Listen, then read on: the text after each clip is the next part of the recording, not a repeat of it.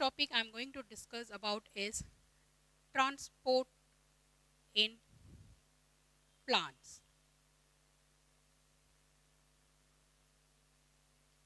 Transport in plants. What is the transportation has to be required in the plants? See, when we talk about the transportation in plants, the main important thing it has to transport is water, inorganic solutes, or you can say nutrients, inorganic nutrients, organic nutrients,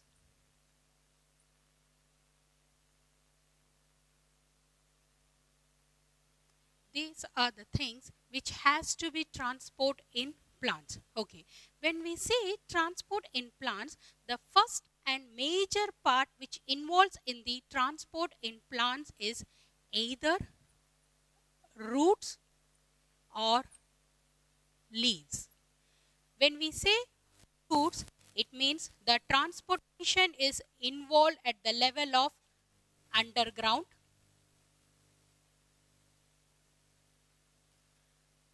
When we talk about the transport in leaves, it, it is associated with aerial part of plant. Okay. So, uh, either via the roots or via the leaves, the transportation has to takes place. Yes. So, before going into the depth of the chapter, I want to ask you few questions. Means of transport by which means the transportation will be happening. When we say means of transport, there are three means of transport. One is cellular transport. Second one is short distance transport.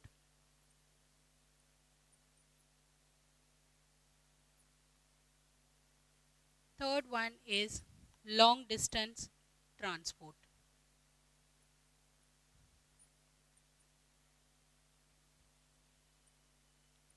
Here I am going to explain individually about this means of transport. The first one cellular transport. The name itself clearly indicates that cellular. It means it is it works is associated only within the cell that means only one cell take parts in the transport. That means uptake and release of substances within the cell is the cellular transport. Okay. The second one is short distance transport. Short distance. It cannot transport you know very large uh, transportation it cannot cover the mileage into a large extent it has to cover in a short distance so in that case it means cell to cell transport it means from one cell to another cell if transportation of substances are happening that we called it as short distance transport okay long distance transport. When we say long distance transport, the name itself clearly is long. It has to travel a long distance.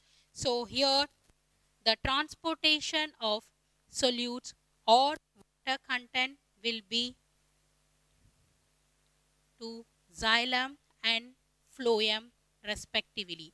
So when it has to travel both xylem and phloem respectively, it has to travel a long distance. So this is about the means of transport. Okay, after finishing the means of transport, okay, now we move on to the how does the transportation is happening in the plants. The first one is by active transport. Active transport as you all aware of the active transport, it means the transportation will be actively happening but with the involvement of ATP. That means energy will be utilized in this active transport with sorry with the ATP involvement it has to with the ATP involvement it has to transport. So energy will be utilized in this active transport. Okay. When active transport is happening in the presence of ATP so it has to cross a membrane okay? For crossing a membrane here in active transport you require the transport carrier protein. Transport carrier protein. When we say transport carrier protein there are two types of transport carrier proteins are available. One is sodium and potassium transport carrier protein, transporter protein. Sodium and proton transporter protein. And second one is GLUT. GLUT is nothing but glucose transporter protein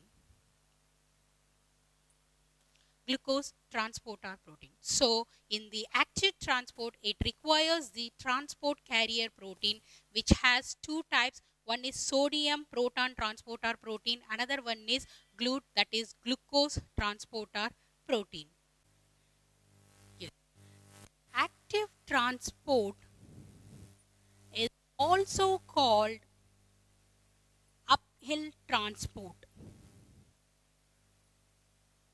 when we say uphill transport, so it means the transportation occurs from low concentration to high concentration.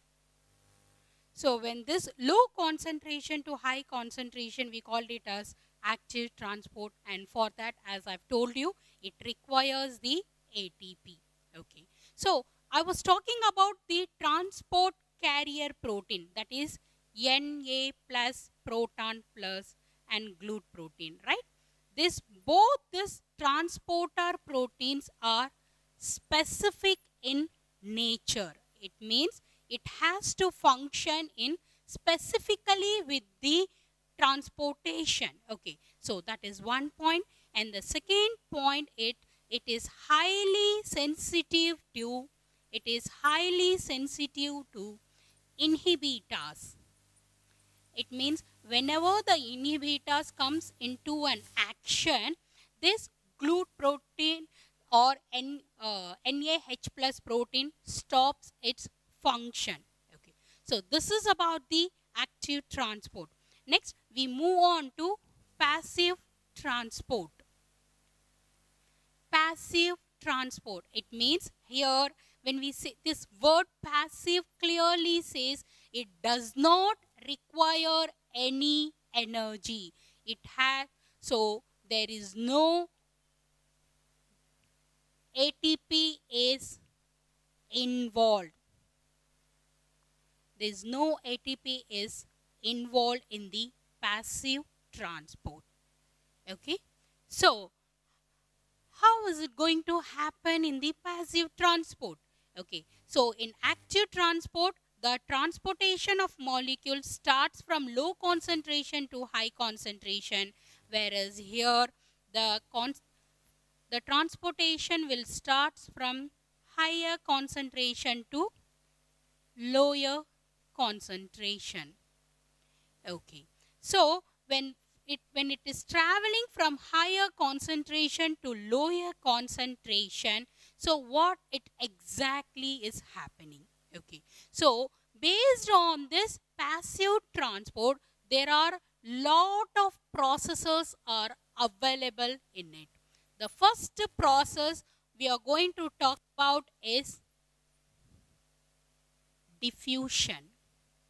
As you all know that diffusion does not require any ATP involvement. So, in diffusion, the definition for diffusion is the transportation of molecule starts from starts from low concentration to high concentration.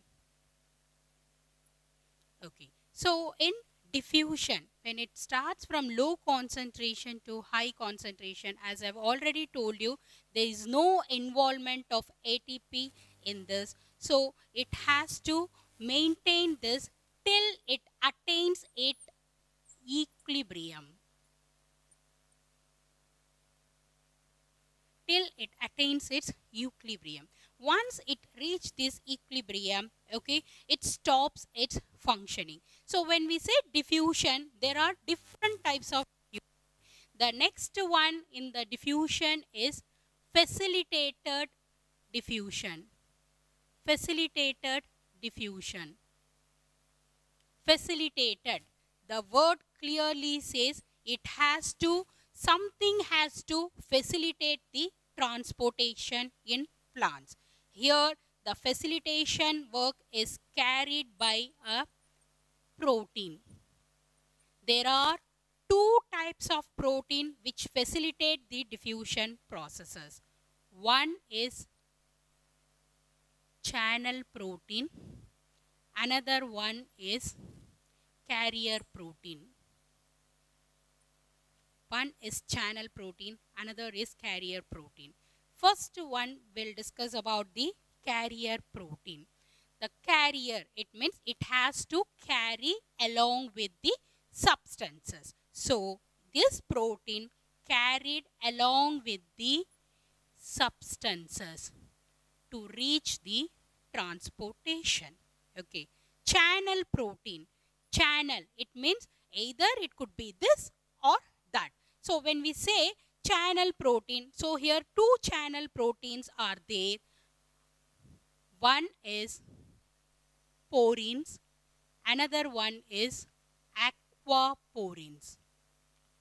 Porins kind of channel protein facilitate only the certain molecular weight of substances alone into the plants. So, molecular weight will be maintained in the porins facilitated protein.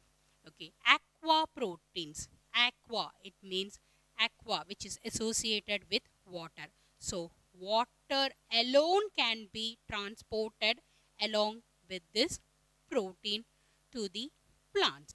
Diffusion, when I say diffusion, it's from higher concentration to lower concentration. Uh, I think I've, before I said lower concentration to higher concentration. It is not so. It is from higher concentration to lower concentration. Okay. So, diffusion. Mostly in diffusion, water alone will be diffused. Okay. So, we say diffusion. Uh, water alone will be diffused into that. So, it develops a pressure called diffusion pressure.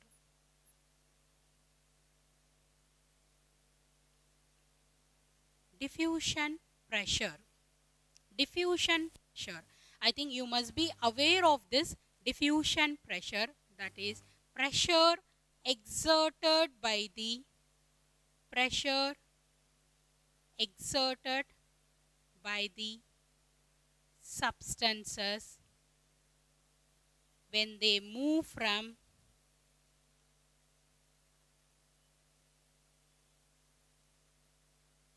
higher concentration to lower concentration. Okay. So, this is the diffusion pressure. Pressure exerted by these substances when they move from higher concentration to lower concentration. Okay. So, this is the one kind of a process which is involved in the passive transport. Okay. Now, we'll see the how many types of diffusions are there. First one is uniport diffusion. Second one is symport diffusion. Third one is antiport diffusion uniport. It means it passes only one molecule for the transportation via diffusion. So, say for example, here if there are two things, uh, two cells are there, so only one will be, only one molecules will be passed. This is uniport. Okay. Next is symport. Symport is two molecules will be passed in direction. Two molecules will be passed in single direction. Like say for example one will be going in I mean one will be coming in the other will be going out. So two molecules will be there. So two molecules will be there which pass in single direction. Antiport antiport antiport is two molecules pass in different direction. Two molecules pass in different direction is the antiports. So these are the types of uh, diffusions which is available. Okay. So this is about the diffusion. Next we move on to osmosis. Osmosis. You have studied osmosis. Osmosis. So when we say osmosis, here the membrane is involved. What is the membrane which is involved here is semi-permeable membrane. Semi-permeable membrane. Okay. Now how does this transportation is occur? Okay. For osmosis, the water will be moved from lower concentration to higher concentration via semi-permeable membrane. If there is no semi-permeable membrane, it is not an osmosis. Okay. So, for this, why, why do we require a semi-permeable membrane? It filters the few solutes which will not be enter into the, the cell. So, osmosis requires the semi-permeable membrane. So, next we move on to osmotic concentration. Osmotic concentration. This concentration, it means the concentration of the particles which determines the the osmotic concentrations is the concentration of the particles which is present in the solute is called the osmotic concentration. So, based on this osmotic concentration, we have three types of solution. One is hypertonic solution. Second one is hypotonic solution. Third one is isotonic solution. Hypertonic. It means hyper which is has a increased concentration, higher concentration of solutes will be there in this solution. That is hypertonic solution. Hypo. Hypo determines the low concentration of solutes in the solution. Third one is isotonic solution. Iso which means equal equal concentration of solutes will be present in this solution. So this is about the osmotic concentration. Next, we move on to types of osmosis. We have two types of osmosis. One is X osmosis. Second one is end osmosis. X osmosis and end osmosis. X osmosis. When you place a cell in the hypertonic solution, cell in hypertonic solution, the water which is present inside the cell will comes out. So that what happened is the cell lose its original shape so that the cell become flaccid. Okay, in os exosmosis. This procedure we called it as exosmosis. So exosmosis is nothing but when you place a normal cell in the hypertonic solution, so based on that hypertonic, the solute concentration will be more. The normal cell loses its water content from the solution. That leads to the losing of its original shape from the cell. So the cell will be appear flaccid. Now end osmosis. Endosmosis is again if you keep the flaccid cell when you keep the flaccid cell in hypotonic solution what happened is the water which is present outside the cell diffuses osmos, uh, osmotic into the cell and it appears the turgid. It regains its original shape. So endosmosis is when the flaccid cell is kept it in a hypotonic solution. The water which is present outside the cell which enters into the cell so that the cell appears in normal shape. That shape we called it as turgid.